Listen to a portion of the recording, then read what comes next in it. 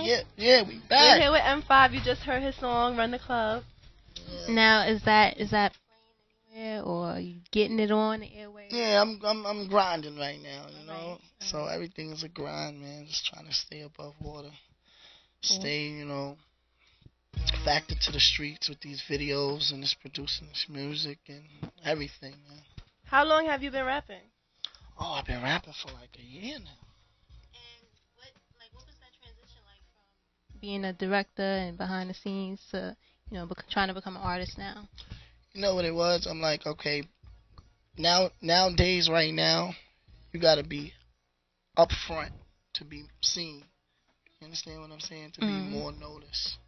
Cause it's like back in the days, you you you, you can play the back position and be okay, but nowadays it's like you gotta be up there and doing doing a lot of this and a lot of that to be seen, and then you fall back onto your your Mhm. craft, what you really want to do. So that's what I'm doing. I'm just having fun. I'm just like doing everything, man. Like just something gonna pop. You know what I'm saying? Mm-hmm.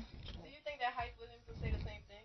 Because he's like, you know, I the mean, king of you're right. You're right, right. And um, everybody got their own different Mhm.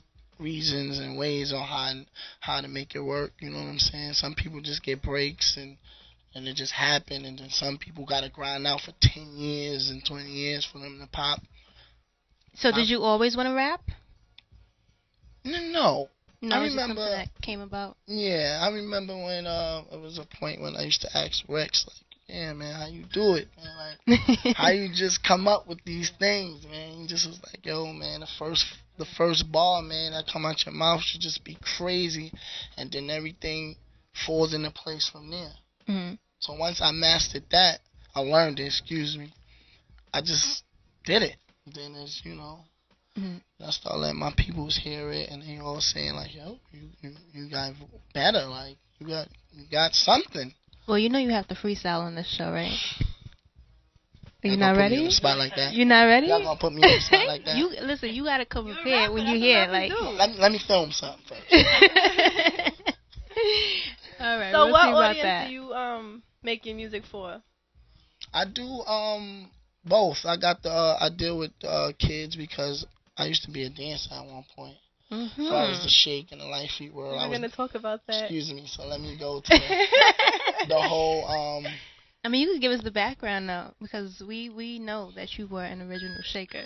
Well, we got a caller. Let's get to that caller. All right, let's see what's going on over You got here. a caller? I think we have like three. Wow, you popping? Was that That's the what Twitter? That mean? That's I don't know. I mean, three PMS calls. Radio. Hello. Are they there? Oh, they ain't Next. They ain't gonna hear what I Aw. gotta say.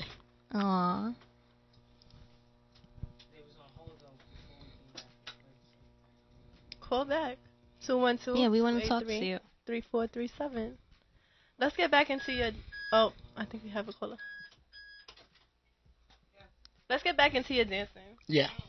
So you were one of the originators of the yes. Harlem Shake. Yes. So for those who don't know,